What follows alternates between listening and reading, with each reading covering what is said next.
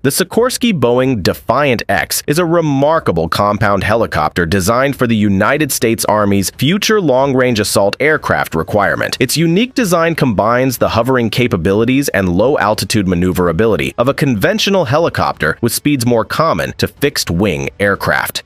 The Defiant engines provide exceptional performance, making the Defiant X 42% more powerful than the CH-47 Chinook and MH-47. The Defiant X faced cancellation after the U.S. Army chose Bell's V-280 Valor tiltrotor aircraft. The U.S. government concluded that Sikorsky's proposal was technically unacceptable due to a failure to substantiate subsystem design in the digital architecture fully.